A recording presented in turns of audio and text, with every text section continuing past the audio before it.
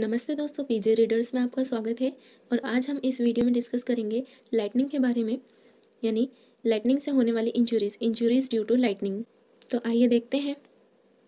सबसे पहले देखते हैं इमीडिएट इंजरीज यानी कि जब किसी पर्सन पर लाइटनिंग स्ट्राइक करती है तो उसे इमीडिएटली क्या क्या इंजरीज होती हैं? Like cardiac arrest and cardiac injuries pulmonary injuries neurologic signs seizures deafness confusion amnesia, blindness, dizziness, contusion from shock waves, chest pain, muscle sacs, tympanic membrane rupture, headache, nausea, post-concussion syndrome.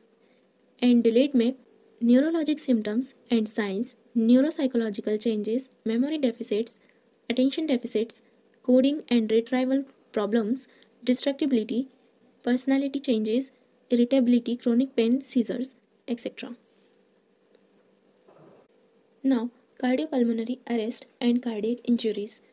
Cardiac arrest. A primary cardiac arrest occurs immediately after the lightning strike. Lightning strike के तुरंत बाद जो cardiac arrest होता है person को, उसे primary cardiac arrest कहते हैं अब lightning sends heart into a systole and paralysis respiratory centre in brain lightning के कारण हार्ट ए सिस्टोल कंडीशन में चला जाता है मतलब कि हार्ट जब कॉन्ट्रैक्ट होता है तो ब्लड जो है वो वेंट्रिकल से दूसरे ऑर्गन्स तक जाने के लिए इजेक्ट होता है। तो इस कंडीशन को कहते हैं सिस्टॉल और यही कॉन्ट्रेक्शन होना बंद हो जाता है हार्ट में तो उसे कहते हैं a systole due to lightning.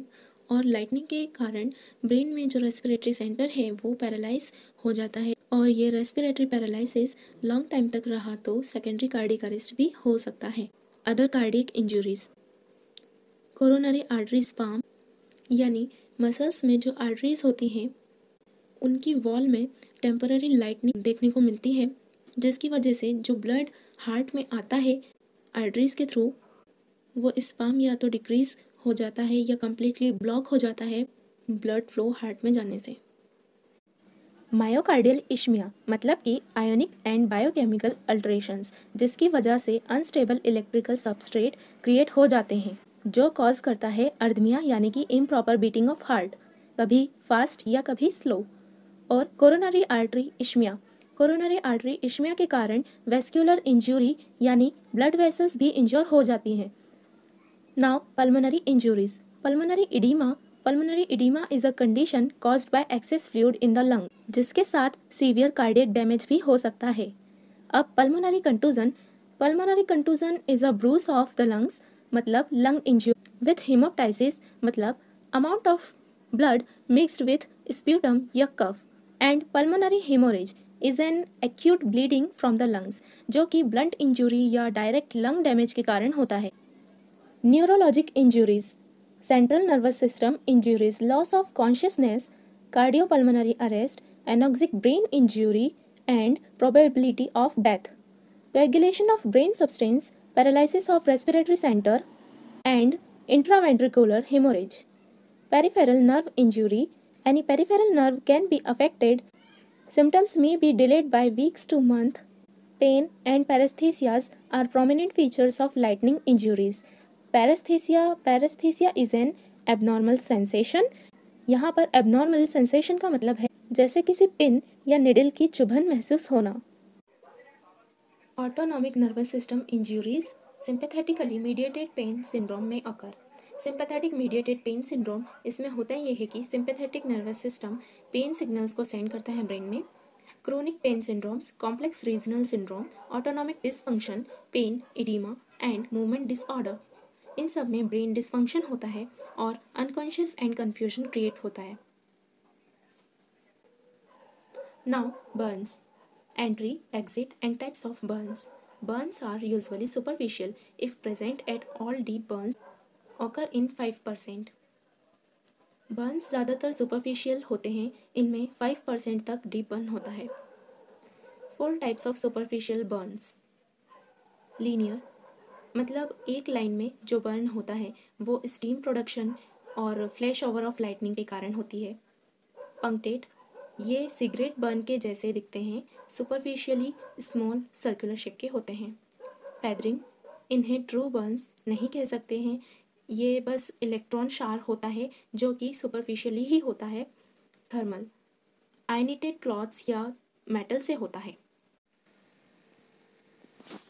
जैसे कि आप फ़र्स्ट इमेज में देख सकते हैं, ये लीनियर बर्न है। एंड सेकंड इमेज में ये मेटल नेकलेस बर्न है। इसमें पर्सन को परमानेंट टैटूइंग हो गई है मेटल से स्किन पर। एंड ये थर्मल बर्न का एग्ज़ाम्पल है।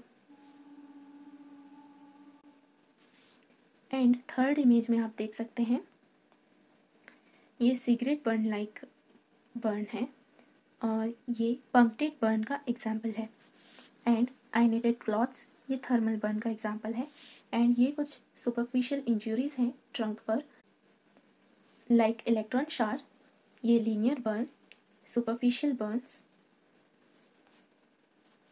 now blunt concussive and explosive blast injuries यहाँ पर कंक्यूसिव मतलब violent blowing force of explosion इसकी वजह से ऑर्गन्स इंज्योर हो सकते हैं स्पेशली ब्रेन और टेम्पररी या प्रोलॉन्ग लॉस ऑफ़ फ़ंक्शन भी हो सकता है।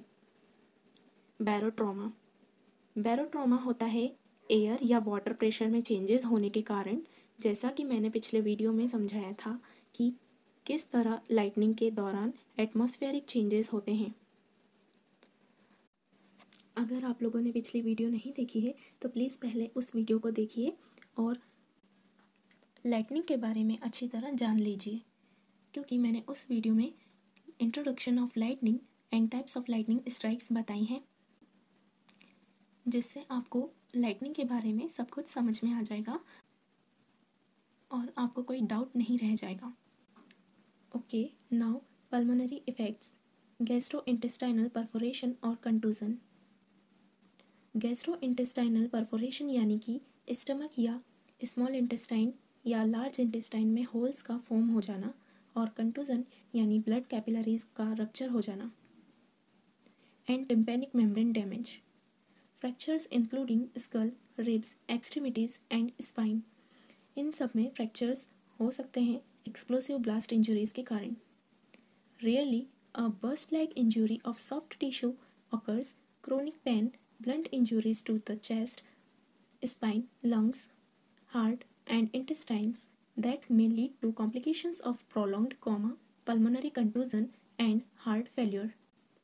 Soft tissues और ऑर्गन्स की बस्ट लाइक इंजरीज बहुत कम देखने को मिलती है जबकि chronic pain blunt injuries to the chest spine lungs heart and intestines जिनकी वजह से प्रोलॉन्ग्ड कोमा पल्मोनरी कंटूजन और हार्ट फेलियर हो सकता है other findings such as haemoglobinuria and myoglobinuria haemoglobin का यूरिन में प्रेजेंट होना that is haemoglobinuria and myoglobin का यूरिन में प्रेजेंट होना that is myoglobinuria.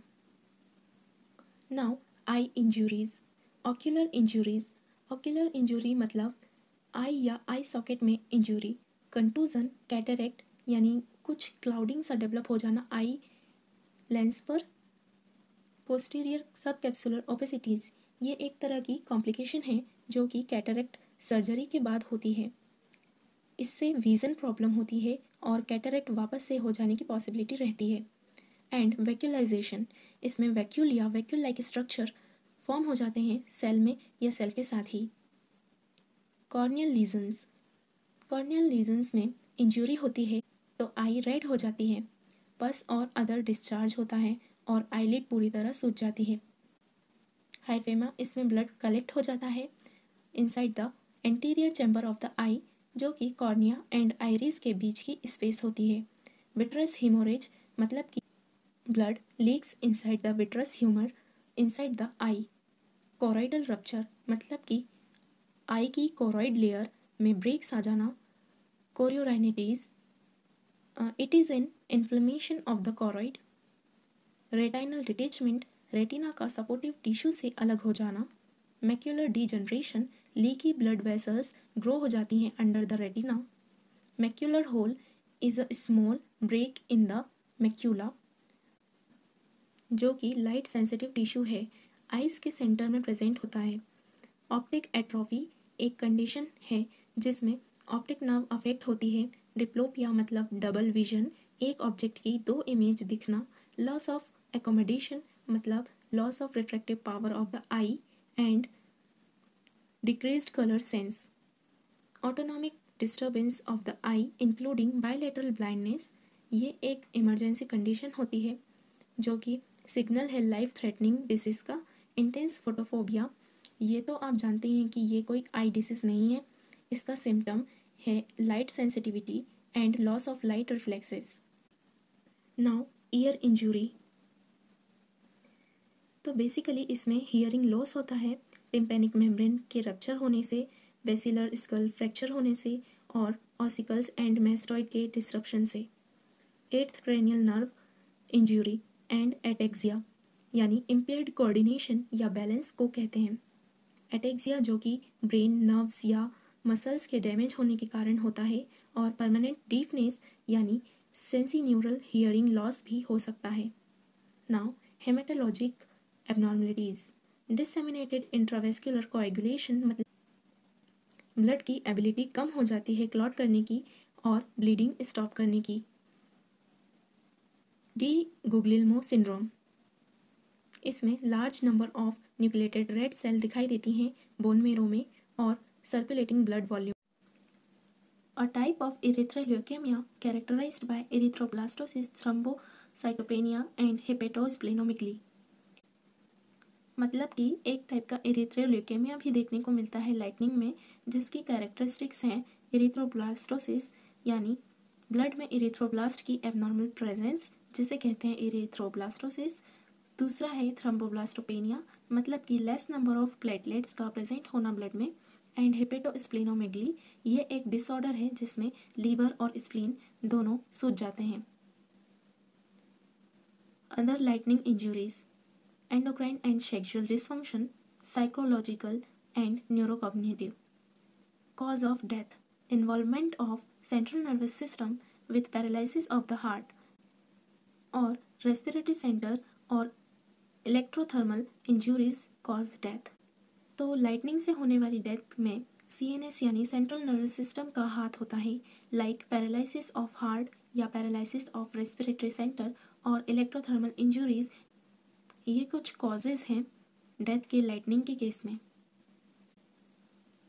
Postmortem appearance clothes are usually burned और torn at the point of entrance and exit तो सबसे पहले क्लॉथ्स देखते हैं, जो कि यूजुअली जले हुए या कटे फटे यानी टुकड़ों में हमें मिलते हैं।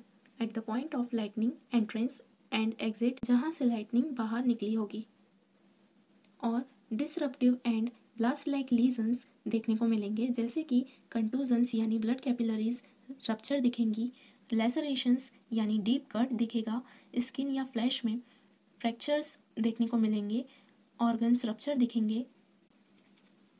किसी भी तरह के वुंड दिख सकते हैं बर्न्स दिख सकते हैं लीनियर एबोरेसेंट या फिलिग्री बर्न्स जो कि इस इमेज में आप देख सकते हैं, इसमें कुछ ट्रीज की ब्रांचेस लाइक पैटर्न देखने को मिलेगा। जिसे लिक्टिन बर्ग फ्लावर्स कहते हैं। और ये most common type of burn है लाइटनिंग के केस में। और ट्रंक की स्किन पर एक्सटेंसिव इकाइमोसिस यानी ब्रोकन कैपिलरीज में से ब्लड का लीकेज देखने को मिल सकता है। एस्फिक्सिया के साइन देखने को मिल सकते हैं। रिगर मॉर्टिस यानी डेड बॉडी मसल्स का कड़क हो जाना। सब एरेक्नॉइड एंड इंट्रासेरेब्रल ब्लीडिंग दिख सकती है। और पैचेस ऑफ़ हेमोरेज यानी ब्लड के स्पॉट्स दिख सकते हैं। प्लूरा एंड पेडिकार्डियम में। और लंग्स आर कॉन्जेस्टेड यानी लंग्स भरे हुए दिखेंगे ब्लड से। ब्लड वेसल्स और ईयर ड्रम रप्चर मिल सकता है। And haemorrhage in the middle ear यानी मिडिल ईयर का एरिया होता है ईयर ड्रम के पीछे। वहाँ पर ब्लड मिल सकता है। और करंट के एंट्री पॉइंट पर स्किन में इंटेंस इडीमा यानी सीरियस स्वेलिंग देखने को मिल सकती है। Now medico legal importance most death occur in open area example persons sheltering under the trees open field specially if they are carrying or wearing something which may attract lightning तो ज़्यादातर death open area में ही होती हैं like जब किसी person ने shelter लिया हो किसी ट्री के नीचे या ओपन फ़ील्ड में और स्पेशली तब जब उस पर्सन ने कुछ ऐसा कैरी किया हो या पहना हो जो कि लाइटनिंग को अट्रैक्ट कर सके लाइटनिंग के केस में डेथ ऑलवेज एक्सीडेंटल ही होती है। In some cases diagnosis should be based on the history of thunderstorm in the locality, evidence of effects of lightning in the vicinity of the body and magnetization of metallic substances तो in some cases कुछ confusion होता है injuries को लेकर क्योंकि कुछ similarities होती हैं लाइटनिंग के केस में और इलेक्ट्रिसिटी के केस में। तो उसका डायग्नोसिस हम कुछ फैक्टर्स के बेस पर करते हैं जहाँ पर उस पर्सन की बॉडी मिली है। उस लोकेलिटी में थंडरस्टॉर्म की हिस्ट्री को देखकर लाइटनिंग के इफ़ेक्ट के एविडेंस को देखकर बॉडी के आसपास and lightning and metallic substances के मैग्नेटाइजेशन को देखकर डायग्नोसिस किया जाता है। And thank you very much अगर आपको ये वीडियो पसंद आई हो तो प्लीज़ लाइक कीजिए शेयर कीजिए सब्सक्राइब कीजिए। आपका एक लाइक हमें प्रोत्साहन देता है कि हम इसी तरह के वीडियो लाते रहें आपके लिए। Thank you so much